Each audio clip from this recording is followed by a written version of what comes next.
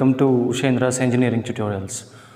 Uh, let's see if how uh, uh, step function looks like in its time domain representation, the mathematical uh, representation and uh, the Laplace transform of a step function, how it looks like. For example, a step function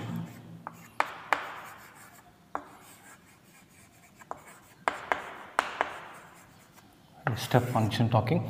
This is how uh, the representation. It's represented as u of t step function. It's a u of t, and uh, this is how uh, like uh,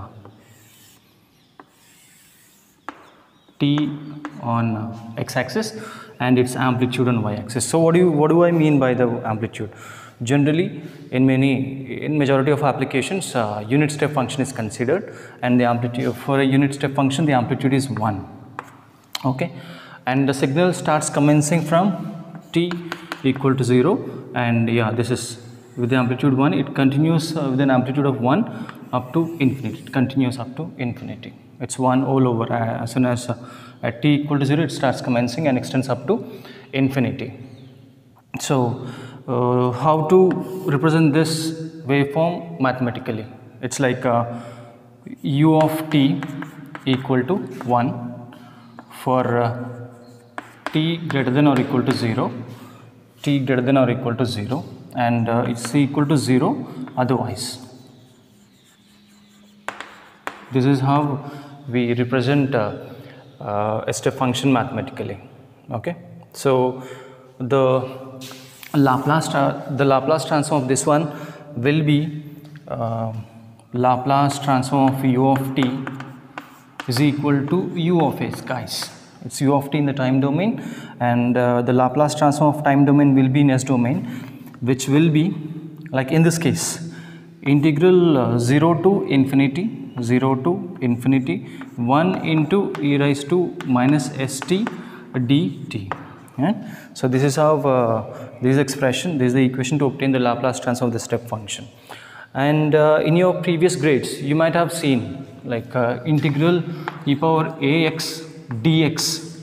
If the integration is with respect to x if the integration is with respect to s the resultant will be e power ax and uh, the coefficient of the x will be treated as a constant and we'll be having a.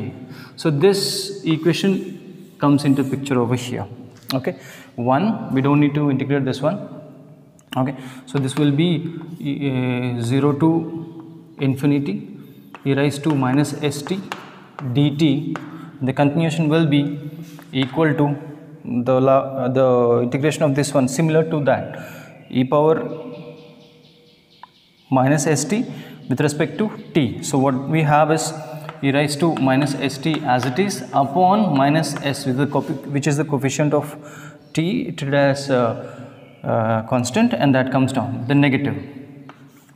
And the limits are 0 to infinity. So plugging in the values of uh, limits into t what we have is minus s in the denominator as it is we'll be having uh, e raised to minus infinity e raised to minus infinity for the upper limit minus e raised to 0 which is equal to e raised to minus infinity will be 0 we don't need that one. So minus e raised to 0 will be 1 by minus s is equal to so this negative gets cancelled we have 1 minus s which is equal to u of s. So this is the Laplace transform of a step function. This is how we derive the expression for a